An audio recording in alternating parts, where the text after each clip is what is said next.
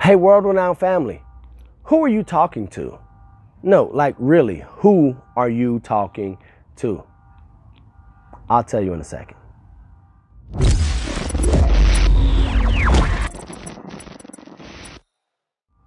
What's up, world renowned family? Neal Oates Jr. here.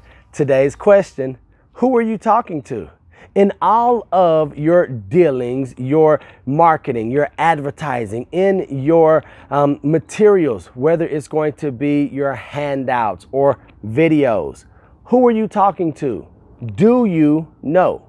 Well, here's why I pose this question. Now, I'm going to use an extreme example, but if I know I'm speaking to a five year old who is yet to go into kindergarten or I'm speaking to a business professional who's been in a sales position for 20 years. How I speak to them, the questions that I ask, maybe the references or examples that I use are going to be totally different. The vocabulary, the pace at which I speak is going to be different. The way I dress is going to be different.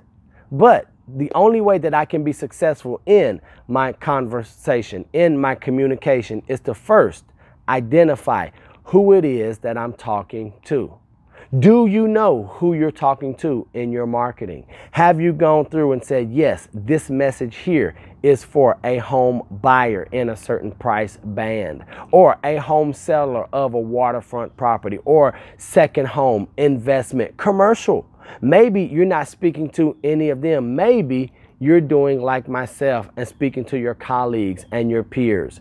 Maybe you're going to be talking to your referral partners or affiliate members in different parts of the country. Now, what I do know is I'm going to talk to Joe, who is a plumber affiliate, differently than I would to Jane, who is a luxury home seller. How I dress, the way that I package my conversation is going to be different.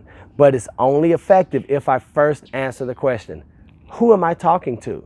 So today I am talking to you because I know that you're valuable and that you have something to give to specific individuals in your life now that you know who you're talking to.